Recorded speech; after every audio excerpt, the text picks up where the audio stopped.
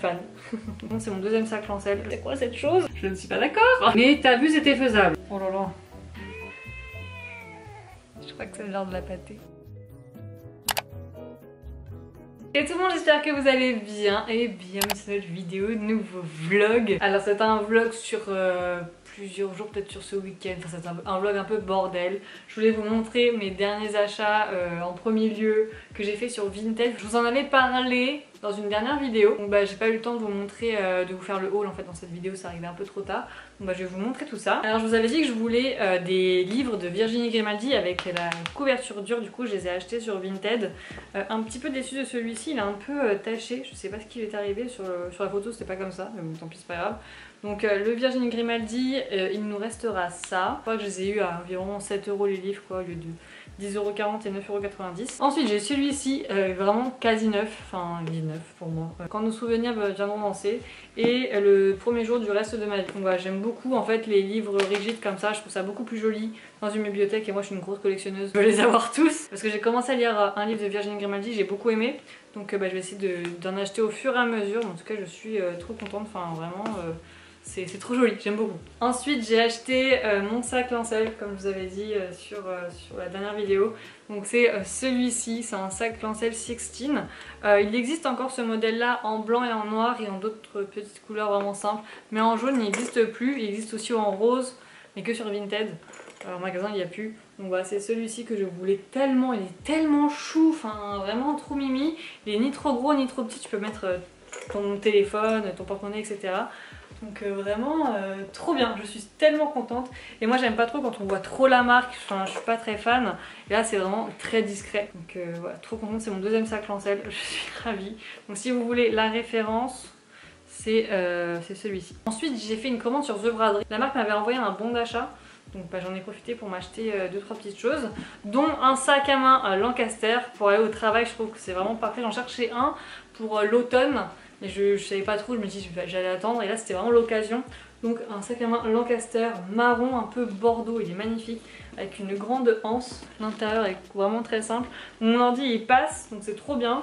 Il est pas trop lourd non plus, il est en cuir, il est magnifique. Il y a une petite pochette sur le devant. Enfin vraiment, euh, il est trop trop beau. Si j'ai un travail bien évidemment, et eh bien je pourrais aller au travail avec ça. si vous voulez la référence encore une fois, c'est celle-là. Voilà, je vous ai montré ça sur TikTok en avant-première avec un petit unboxing à la fois pour les hauls Vinted et à la fois pour euh, bah, le sac à main en unboxing. Donc si vous voulez voir les petits unboxings, les petits hauls comme ça par-ci par-là, n'hésitez pas à me rejoindre sur mon TikTok, c'est ElisaBRT Off avec 3 F. Donc euh, voilà pour mes petits achats. Je suis tellement contente, de pouvoir mettre ça dans la bibliothèque mes petits livres là. Je suis fan. là en fait actuellement dans l'appartement c'est le bordel complet parce que j'ai sorti tous les vêtements qu'il y a sur Vinted. Je les ai mis dans le couloir et dans le salon, il y en a un peu partout. Faut que je prenne aussi en photo les vêtements que j'avais triés dans la dernière vidéo. Donc la vidéo euh, que vous avez vue euh, juste dimanche dernier normalement avec le tri. Il va falloir que je prenne tout en photo. Normalement c'est déjà en ligne sur Vinted. Et en gros euh, pour ces vêtements là si voilà, tout n'est pas vendu, bah, je vais donner directement à Emmaüs. Euh, j'ai plus envie de m'encombrer de vêtements, euh, enfin ça fait trop longtemps que je les, traîne et euh, j'en ai un petit peu marre en fait je vous avoue. J'ai envie de, d'avoir de la place tout simplement parce que ça me prend tout le haut d'une armoire et, et ça me saoule en fait au bout d'un moment. Que, euh, voilà, donc il y en a un peu partout, il faudra que je prenne en photo aujourd'hui. Mais sinon on est allé à Truffaut hier, donc je vais vous montrer ce qu'on a acheté. En fait on est allé au parc de Sceaux avec Prince encore une fois. Et Prince était beaucoup plus à l'aise que la dernière fois. Il est venu directement sur moi, enfin il, est, il était dans mes bras et tout. Il allait pas trop sur l'herbe encore, genre il, était un peu en mode c'est quoi cette chose? Alors, est-ce qu'il fait froid? Non ça il fait pas trop froid. Il fait bon même. Alors nous avons acheté euh, des petites fleurs comme ça. Alors de base je voulais un jasmin, sauf qu'il n'y avait pas de jasmin extérieur qui, était dans les tailles que je voulais. C'était des gros jasmins donc euh, bah, j'ai pris euh, des petites fleurs comme ça. J'aime beaucoup, c'est très très très joli. Ça rapporte un petit peu de couleur. Ensuite j'ai acheté quoi? J'ai mis déjà mes pots à l'extérieur parce qu'il y avait des petits pucerons. Peut-être faudra que je remette un petit peu de, de, et j'ai plein de fourmis chez moi. Genre, j'ai eu un nid de fourmis chez moi. J'ai dû mettre du pchit comme ça, ça a bien fonctionné. Mais euh, je sais pas d'où elles viennent. Je crois qu'elles viennent du terreau, mais euh, je suis pas très sûre. Parce que ça, c'était le terreau de mon père. et euh, je, suppute qu'il y avait des fourmis dedans. Donc voilà, je pense que je suis un peu envahie de, fourmis dans ce terreau. Je sais pas trop comment faire, mais bon, si vous avez des astuces, n'hésitez pas. Du coup, j'ai pris de l'engrais plante d'intérieur, donc celle-ci. C'était 5 euros. Ils sont vraiment bien, je trouve, leur, leur engrais, c'est plutôt pas mal. Ensuite, j'ai pris une tomate. Oh là là, elle s'est fait un petit peu mal hier avec le vent. On va mettre un tuteur aujourd'hui, je pense une tomate cerise, c'était 5 euh, euros. Et ensuite j'ai pris euh, ce lot de petites fleurs des mufliers nains. J'adore ces fleurs, je trouve vraiment très très belles. Et en fait ça sera pour mettre dans mes petits pots. Alors je sais pas si ça va tenir, hein, mais euh, je trouve ça assez sympa, assez mignon. Donc ça va être là-dedans et aussi ma jardinière que j'ai installée qui est juste là. Donc là il y aura des calanchoïs que j'ai pas encore acheté et un petit mélange de fleurs comme ceci. Donc euh, voilà pour ce qu'on a acheté à Truffaut. J'ai acheté aussi de l'herbe à chat pour mon chacha. La tomate là, elle est, elle est penchée un peu là. là pour pas qu'elle tombe. Mais hier il y a eu énormément de vent donc euh, elle a dû un petit peu souffrir. Oh mon chat. Donc voilà pour les petits achats à Truffaut, on va les installer euh, peut-être dans cette vidéo, vous montrer un petit peu l'avancement du balcon. Et, et, voilà. Je vais vous montrer aussi une autre recette que je fais assez souvent quand j'ai pas trop le temps et que c'est vraiment très simple. C'est la même recette que celle que je vous ai montrée, la recette grecque là. Euh, mais sauf que je l'agrémente avec du brocoli et c'est super bon. Donc vous pouvez faire avec du brocoli et aussi vous pouvez rajouter des pâtes si euh, par exemple il vous reste une fin de plat. Vous refaites des pâtes et ensuite euh, bah, vous mélangez avec les brocolis. C'est super bon. Du coup moi je vais juste faire dans un plat comme ceci. je vais mettre les poivrons, poivrons rouges et poivrons jaunes, un petit brocoli, ensuite la feta au milieu et de la crème fraîche et ça au four. Voilà.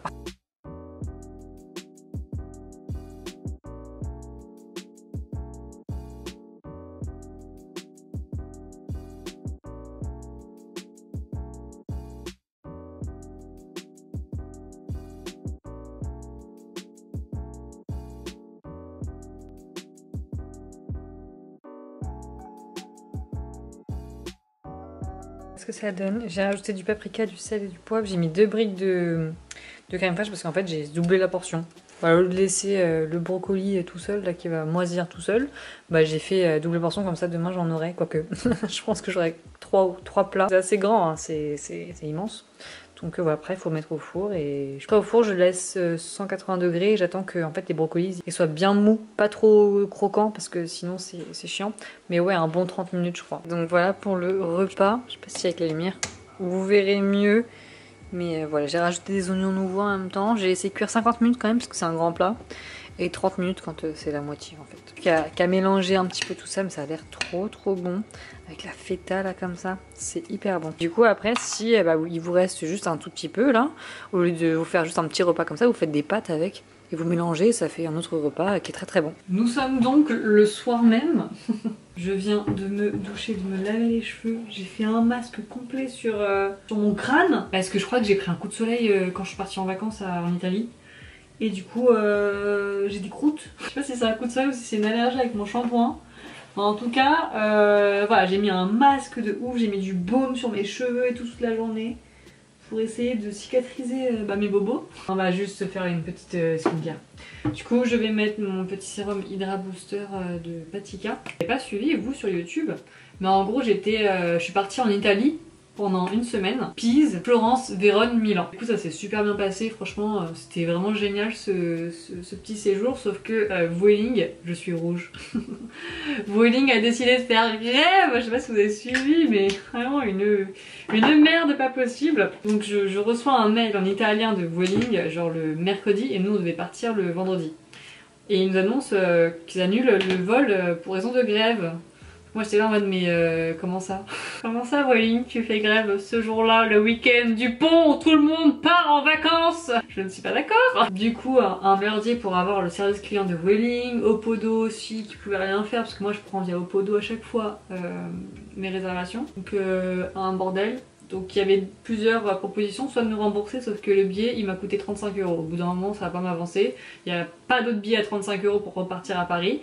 Donc euh, on savait pas trop comment faire, sachant que les, billets pour revenir à Paris hors Vueling, du coup, c'était 500 euros par personne. Ils sont tarés les gens. On a pris un vol de remplacement, donc c'était le jeudi matin très tôt à 9h, enfin très tôt oui, c'était à 9h. Donc au lieu de vendredi soir à 22h, donc ça nous gâchait en fait tout notre séjour à Milan, donc on n'a pas été à Milan. Donc annulation de Airbnb, pas de remboursement, annulation des trains, pas de remboursement, enfin voilà, il y a eu beaucoup de frais, enfin beaucoup de, choses qu'on avait réservées qui bah, finalement euh, bah, sont, annulées, sont tombées à l'eau à cause de Welling.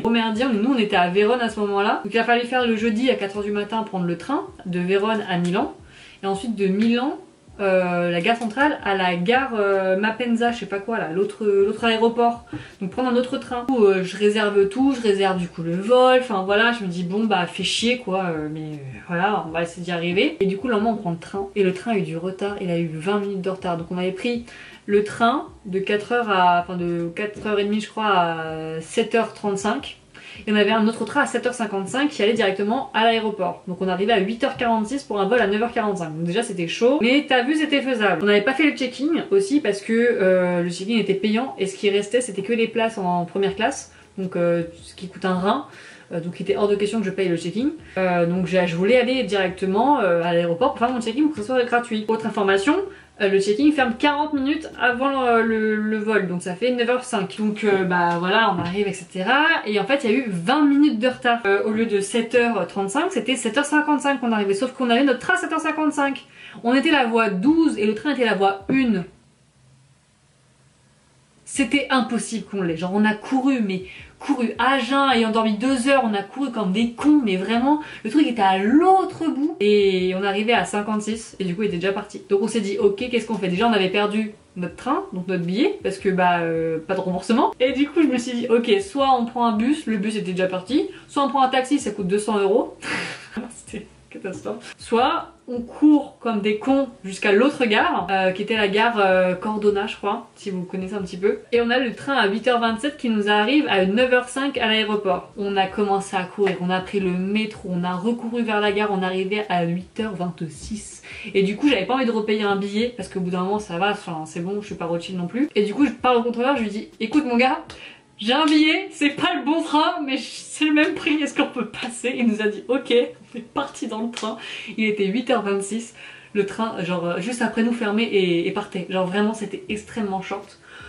On arrive à 9h05, donc euh, le checking était fermé du coup euh, à l'aéroport, donc j'avais fait le checking sur mon téléphone dans le train. J'avais payé bien évidemment la première classe et il y a une place qui s'est libérée dans le fond, genre vraiment à l'arrière, à 8 balles là, que j'ai pris pour mon copain. Donc moi j'étais en première classe et lui il était avec les gens, les autres là, euh, voilà. Je ne recommande pas la première classe, vraiment. Bref, on arrive, on court à l'aéroport parce que les portes ferment 20 minutes avant, vous savez, pour juste avant la douane, faut passer son ticket et euh, si c'est 20 minutes avant, bah tu peux plus passer. Donc on a commencé à courir parce qu'on était du métro à l'aéroport, il y a quand même 5 minutes en courant. Donc on a couru, couru, couru. Il y avait des escaliers de bâtard, franchement j'en pouvais plus. On arrive 9h10, il faut trouver cette putain de douane. L'aéroport est gigantesque.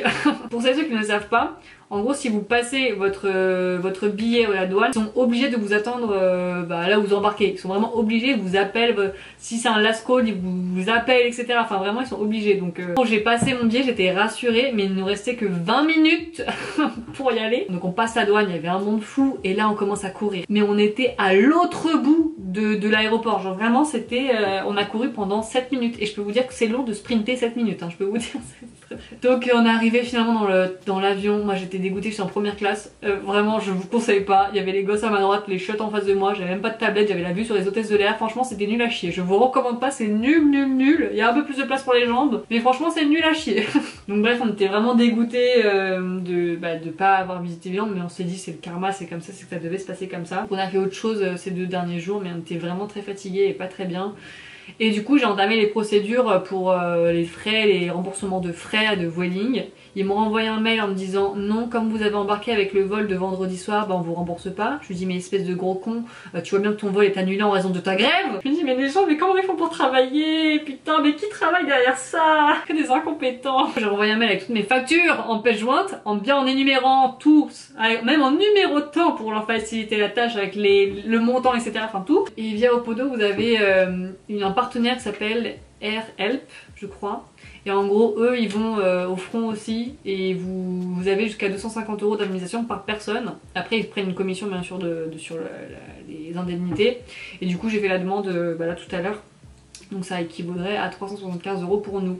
Ça serait plutôt pas mal. Bon, j'y crois pas trop, mais vaut mieux bombarder, hein. vaut mieux faire tout ce qu'on peut, euh, parce que voilà, c'est nous ont annulé notre voyage, même s'il y a eu un vol de remplacement, je suis désolée, euh, tu viens de gâcher mes vacances, donc euh, ça va pas se passer comme ça. C'est la story time de la soirée, mais c'était vraiment c'était relou. C'est chiant parce que tu sais, t'as pas tellement de congés payés, enfin, ça coûte de l'argent et puis faut avancer les frais, hein, les, tous les trains que j'ai achetés, faut le faire. Hein. Pour une personne, bon, pour deux personnes, c'est beaucoup plus et c'est faut que tout soit à mon nom en plus, donc enfin vraiment c'est un bordel, c'est chiant, ça te gâche tes vacances. En fait, t'arrives à Vérone, bah tu repars en fait le lendemain, t'as même pas le temps de, te poser, j'ai passé toute l'après-midi au, téléphone avec le service client de à Vérone, enfin j'ai rien profité, ça m'a vraiment gonflé mais bon c'est pour mieux repartir, on fera Milan une prochaine fois avec tous ces lacs, on fera ça une prochaine fois mais euh, vraiment j'étais euh, j'étais dégoûtée, c'était trop nul. Donc voilà pour, euh, ça, écoutez je pensais faire une petite skincare, un petit masque mais ma peau elle est tellement en manque d'hydratation que ça fait du bien juste de mettre euh, cette crème là de chez Nux qui est vraiment très très très très bien. Sinon bah, j'ai fait les colis, j'en ai ramené euh, une partie, donc ceux de Mondial Relais euh, directement aujourd'hui, enfin dimanche il y en a un qui est ouvert donc euh, j'en profite pour euh, l'avoir. Du coup il y a pas mal de colis qui ont été faits, en fait il y avait beaucoup de gros colis avec genre 7 articles et tout à l'intérieur donc j'ai un peu galéré parce que j'ai pas énormément d'emballage avec des gros articles, j'ai que des trucs pour les petits articles. Donc voilà, assez contente des ventes Vinted, je pense que ça peut faire plaisir un petit peu à tout le monde. Après il y avait beaucoup de gens qui avaient négocié des prix, enfin j'étais pas... Enfin, je sais pas si c'est normal, mais bon, c'est pas foufou. Quand le produit est à 2 euros, tu vas pas le. Enfin, c'est une robe pull à 2 euros, 3 euros, va pas la négocier à 1 euro. Enfin, je, trouve ça tellement débile et puéril. Enfin, vraiment, euh, j'essaie de mettre des prix très très bas et avec les frais de port, etc., ça vous fait comme si vous achetez en fripe. J'essaie de faire ça en fait. En fait, ça convient pas aux gens, donc à chaque fois qu'il y avait des, propositions d'offres, bah, je refusais parce qu'en fait, euh, c'est limite ridicule, sachant que l'argent ne va pas dans ma poche ça va dans une asso. Et je préfère donner à Emmaüs pour qu'il se fasse un peu plus de bif que de vendre un truc à 1 euro. Genre, je, trouve c'est un peu ridicule. Je vois, enfin voilà, ça c'est. C'est ce que je pense, mais du coup, je vous ai pas montré aussi. Je me suis acheté des petites pivoines à Carrefour. Je crois que c'était 4 euros les 3 tiges. Elles sont, enfin, vraiment, j'adore les pivoines. Je trouve ça tellement joli. Je sais pas si je vous ai montré. Avec ma voisine et sa fille, on avait fait, euh, on a fait de la peinture à paillettes. Et du coup, euh, moi j'ai fait ces deux-là. Et euh, ça fait très euh, femme avec six enfants, tu vois. Genre mon frigo ressemble vraiment à une femme euh, ayant des enfants. Maintenant, parce que j'ai accroché mes dessins. Bon, sinon ce soir, on va se faire un petit truc vraiment très sympathique. On va se faire des petites fraises. J'ai déjà mangé un petit peu avant, mais j'attendais le dessert. Donc on va se faire des petites fraises, 500 grammes de fraises. Allez hop Et je vous ai pas montré, mais on est allé à Action aujourd'hui. Et bah, j'ai trouvé des petites coupelles en forme de fruits. Je suis trop contente. Et j'ai aussi trouvé une table va peut-être la monter euh, là tout à l'heure. Euh, une table pour dehors, une table coffre à 15 euros à l'action, vraiment pas très cher. Je suis pas fan du design, je trouve pas ça très beau. Mais, euh, mais je pense que ça sera plus pratique pour mettre nos verres, etc. Donc on va, je vais vous montrer tout ça. Bon du coup j'avais mis les petites coupelles dans le lave-vaisselle, mais il y a la coupelle poire, trop mignonne. Il y a la coupelle citron. Coupelle fraise dans la même forme, donc je l'ai pas prise parce que bon, j'essaye d'être raisonnable. Et il y avait la coupelle orange. Ensuite, j'ai racheté d'autres petits euh, trucs pour le ménage, genre des brosses et tout comme ça. Euh, ça c'est pour nettoyer euh, mes chaussures par exemple et il y en a une autre pour nettoyer le balcon. J'ai pris aussi des produits pour les fourmis parce que en fait j'ai une invasion de fourmis chez moi, je suis rentrée d'Italie, j'avais un nid de fourmis dans mon aspirateur, alors vraiment tout va bien. Et en fait elles proviennent du terreau que mon père m'avait ramené et du coup j'ai plein de fourmis euh, qui venaient chez moi, genre elles ont fait, euh, elles sont crues chez elles. Donc elles passaient du balcon à chez moi, parce qu'il y avait une petite ouverture, parce que j'ai un câble qui passe entre mon balcon et moi. Donc j'ai enlevé le câble et j'ai mis un piège à fourmis, je sais pas s'il va fonctionner. Mais oui ça fonctionne Il y a des fourmis qui sont dessus, par contre ce serait bien de rentrer dedans. Alors je sais pas si vous allez voir, vous voyez une petite fourmi là-dessus ah ouais, il serait temps d'arrêter là les fourmis parce que je peux plus, ça fait deux semaines que j'ai des fourmis chez moi. Au début je minimisais un petit peu le truc et tout, mais là euh, non, il y a quand même pas mal de fourmis qui viennent là. Hein. Ça c'est cool. Et du coup je suis passée à Ikea, j'ai acheté deux calancoés, c'est 2 euros. Euh, les calancoés là-bas alors Truffaut c'est 4,79€ et c'est exactement le même fournisseur, hein. je, peux vous le dire, j'ai travaillé à Truffaut, je sais que c'est le même fournisseur. Donc euh, j'ai pris euh, celle-là, orangée rosée, elle est trop belle. Donc je vais pouvoir le mettre dans la petite jardinière qui est juste là. Je l'ai mise par terre parce qu'il y avait de l'orage tout à l'heure, donc euh, voilà. Et j'ai planté aussi ma tomate, attendez je vais vous montrer. Juste pas que Prince aille sur le balcon le temps qu'il y ait des fourmis. Mais en gros, bon déjà j'ai mis mon basilic et ma, ma menthe par terre là. Du coup j'ai mis mes petites fleurs là comme ça, je trouve ça hyper mignon. Ensuite j'ai planté ma tomate. Il y avait des, fourmis dans la terre, donc j'espère que ça va pas bouffer les racines. Et je pense passer à Carrefour bientôt. De toute façon, il faut que j'y aille pour déposer les colis. Mais acheter un petit peu de terreau, genre vraiment un, petit terreau de merde là pour mettre mes fleurs et mes calanchoés là-dedans. Donc ça va être plutôt sympa. Et euh, écoutez, voilà pour les avancées, enfin franchement, euh, très contente. Et euh, mon copain, il a utilisé le basilic là, pour faire une sauce. Parce qu'en fait, on avait des poivrons qui étaient périmés. et des tomates, genre un petit restant de tomates. Du coup, il a fait mixer les poivrons verts et rouges avec des tomates et du basilic pour faire une espèce de sauce. Et ben c'était succulent. Donc voilà un petit peu pour les petits achats. Après j'ai racheté du PQ, enfin des choses, du, du vaniche aussi, enfin voilà des petits trucs du quotidien. Donc on va peut-être monter la table. J'espère que ça va le faire, j'espère que ça va être bien. J'espère que la télé ne vous dérange pas, ainsi que le bruit de la fontaine à eau de Prince. Je suis en train de regarder euh, Animaux adoptés, j'adore. Le dimanche, je regarde tout le temps ça. Je trouve ça tellement mignon. Les petits animaux, les petits chats, les petits chiens et tout. Enfin bref, j'adore. Ça ressemble à ça. Vous savez, c'est des trucs en plastique, genre... Euh, enfin voilà. Donc c'est à clipser. Il y a une notice, très vite fait, qui est juste là. On va essayer de la faire. Clic, clic. Voilà les étapes. je meurs.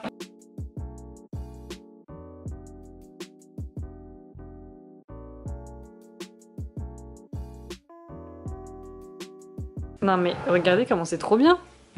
Genre tu peux enlever le truc et mettre plein de choses. Bon après je mettrai pas des plaids et tout parce que je pense pas que ça soit... Euh, enfin que ça arrête la pluie hein. Mais euh, franchement pour 15 euros c'est plutôt pas mal hein. Bon là je suis pas du tout fan. ça va pas ici. Je vais remettre le pot de fleurs. Peut-être que je vais le mettre là le bordel. Là je préfère un peu plus. Je sais pas ce que vous en pensez. Genre sur le tapis. Ça peut être pas mal en vrai. Bon là j'ai mis les fleurs euh, voilà comme ça. Mais c'est plutôt pas mal. Par contre, je crois que mon chat est sur le balcon. Effectivement, il est sur le balcon. Qui fera un peu plus beau, etc. Je vous montrerai le rendu. Euh, parce que là c'est un peu sale et tout, enfin faut que je fasse un petit peu de ménage, faut que je jette ça.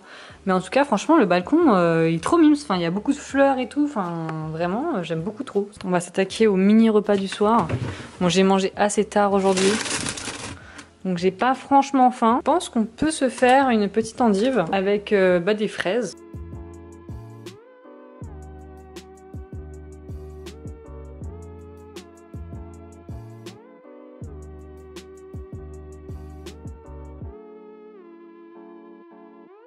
Alors pour la sauce des endives c'est très important. Moi j'utilise la sauce de Carrefour, celle-là là. elle est trop trop bonne à la moutarde. Oh là là là là. Et ensuite pour les fraises, ça va être beaucoup plus simple. Hein. On va blinder de sucre parce que c'est des fraises d'Espagne, c'est-à-dire que c'est de la grosse merde. Du coup on va blinder de sucre parce qu'elles sont pas, elles ont pas l'air sucrées. Oh là là. On va laisser reposer et on va manger Ma petite salade pendant que Prince s'amuse avec un plastique. Mais Prince Mais qu'est-ce que tu fais mon cœur? Petit plastique. Je reviens du travail et je suis allée directement euh, au point relais pour mettre tous les colis. Ah, ça y est, j'en ai plus aucun, ça c'est trop cool. J'ai vraiment galéré, j'ai mis une heure et demie avec tous les bouchons, etc. Parce que tous les points relais ferment à 19h, donc je me suis grave dépêchée. Euh, et j'ai vraiment galéré avec les Vinted Go là, je me suis fait hyper mal aux doigts sais pas si ça se verra. Je me suis fait bobo au doigt, ça pique, j'aime pas ça, ça me saoule. Du coup, je suis passée à Carrefour, on va m'acheter deux trois petits trucs. Je pense que vous voyez mon désespoir, j'avais envie de sucrer, il avait que ça, donc euh, j'ai pris des éclairs. Euh, j'ai repris des champignons, des panna cotta. Parce qu'en Italie, c'est tellement dégueulasse que voilà. Euh, des tomates cerises, on va se faire ça ce soir avec de la mozzarella. des yaourts à l'abricot. des, poivrons et des bananes. Pour remplir un petit peu le frigo. Ah mon chacha? Oui mon cœur, du coup on va se faire un petit repas sympathique ce soir. Oui. Ce que je vous propose pour manger ce soir, mozzarella, tomate, avocat et du basique est sur le, le balcon avec des yaourts panna. Voilà pour le petit repas du soir. Franchement ça a l'air trop trop bon. J'ai rajouté du coup de l'huile, du sel, du poivre et du basilic. Donc voilà pour le balcon. Euh, la petite table juste là. C'est hyper pratique et tout. Franchement elle est très très bien. J'ai euh, planté mes petites fleurs juste là. C'est pareil. Là j'ai mis une petite fleur aussi juste ici. Euh, j'ai re-arrosé les plantes. et j'ai planté euh, du coup mes petites fleurs dans, le, dans la jardinière comme ça. Donc ça va être trop trop beau quand ça va être fleuri. En plus les calanchoés c'est bien c'est que quand ça crève bah, ça repart. Ça tient bien la chaleur. Donc vraiment trop contente. Bon on va faire une petite tarte au poireau. C'est la première fois que je vais faire ça. Euh, du coup, on aura besoin euh, de lardons, de champignons, de crème, de poireaux, de euh, de râpé et d'une pâte brisée. Alors je vais suivre une recette, celle du marmiton comme d'habitude. C'est parti pour faire la recette. Hein. Pas capté mais il faut faire cuire les poireaux et tout le bordel. Putain, je pensais que ça allait cuire dans, dans la tarte mais absolument pas. On va faire cuire à la fois les lardons et les poireaux. Oh j'ai une flemme. La flemme arrive faut bien le faire. Même les champignons, en fait, faudra tout faire cuire. Mais ça sert à quoi de faire une tarte si ça ne cuit pas dans la tarte? C'est complètement con. Oui, ok, bon bah écoutez, euh... j'ai le seum. Donc il faut un petit peu la gueule, comme vous pouvez le voir. Ce n'est pas grave. ça se mange quand même. Sauf là, la première, elle est un peu, euh... un peu pas terrible.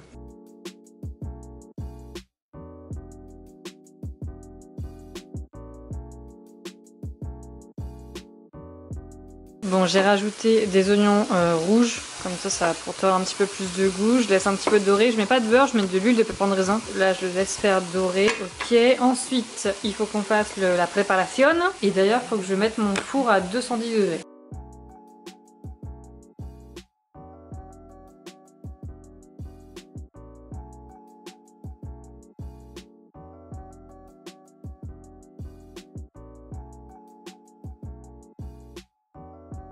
Et voilà la tarte au poireau. Franchement, trop bien. Donc là, le four est prêt. Donc je vais pouvoir euh, l'enfourner 25 minutes. Franchement, plutôt pas mal. Elle a l'air trop bonne. Enfin, vraiment, euh, trop contente. Quoi? Je crois que c'est l'heure de la pâtée. Je suis en train de faire le montage du vlog du coup et je vois que j'ai pas clôturé. je suis en train de vous pousser. Euh, j'ai pas clôturé le vlog, euh, c'était vraiment un petit vlog, voilà, un petit peu bordel pour vous montrer aussi bah, la fin du balcon. J'espère que ça vous plaît. En tout cas, moi ça me plaît beaucoup. Il y a plein d'oiseaux qui viennent et tout, ils kiffent leur vie. J'ai plein de petits insectes vraiment trop beaux qui viennent sur mon balcon. Je suis pas fan des insectes, mais eux ils sont vraiment beaux, ils sont multicolores, etc. J'ai essayé de vous faire des petites recettes dans cette vidéo euh, pour vous donner des petites idées parce qu'il y a beaucoup de personnes qui m'ont demandé ça.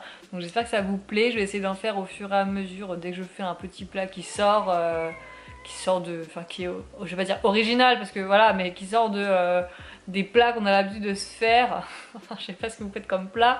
Mais moi, c'est toujours les mêmes. Genre, vraiment, c'est chiant. Donc, j'essaye des fois, quand c'est un peu euh, nouveau, de vous les montrer. J'espère que cette vidéo vous aura plu. N'hésitez pas à liker si c'est le cas, à me rejoindre sur mes réseaux sociaux, c'est Elisa BRTOF, à vous abonner à ma chaîne juste là si ce n'est toujours pas fait. Je vous mettrai d'anciennes vidéos fraîchement juste en bas. Je vous fais un bisou, je vous dis à plus tard dans une prochaine. Bye bye.